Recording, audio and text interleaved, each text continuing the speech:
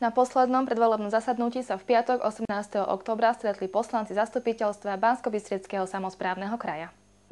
Pre Žiarský región bolo dôležitým bodom rokovania stanovisko k zámeru povrchovej ťažby nerastov a k použitiu technológie kianidového lúhovania v dobývacom priestore Kremnica. To predložila štvorica poslancov za okres Žiar nad Hronom, Vladimír Flimer, Daniel Gelien, Božena Kováčová a Ladislav Kukolík. Zastupiteľstvo sa však nakoniec stanoviskom nezaoberalo.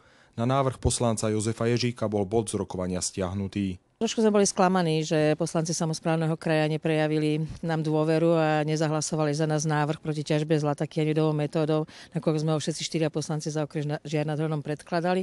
Župan nás síce ubezpečil, že automaticky v novom volebnom období, že to bude na predmete rokovania. No, uvidíme, čo sa bude diať, ale určite budeme za to, aby sa, niečo, aby, aby sa samozprávny kraj vyjadril v tejto téme.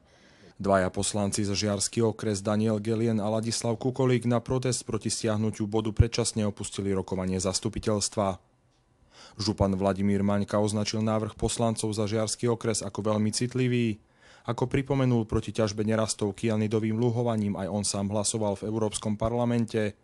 V tomto prípade však došiel k záveru, že samozprávny kraj sa zatiaľ nemá k čomu vyjadrovať. Platí tu zákon na Slovensku a Eh, aj samozprávny kraj sa vyjadruje k dokumentom, ktoré mu prídu na stôl. Zatiaľ nám na stôl nič neprišlo a eh, takéto stanovisko, keby sme ho podali akékoľvek, tak by bolo iba deklaratórne, ale v každom prípade by určite morálne podporilo tých, ktorí, ktorí vlastne potrebujú a chcú, aby sa, aby sa zlato v Kremnici neťažilo.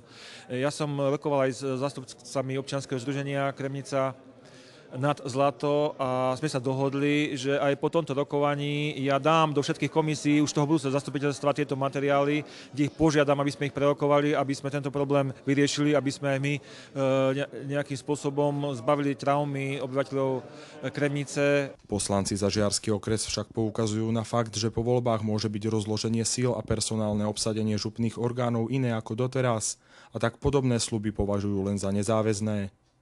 Župní poslanci sa na rokovaní zaoberali aj poslednou úpravou rozpočtu v tomto volebnom období. Schválili tiež čiastočne samofinancovateľný projekt sociálneho mestečka v Banskej Štiavnici, ktorý spojí tri zariadenia s podobným zameraním do jedného.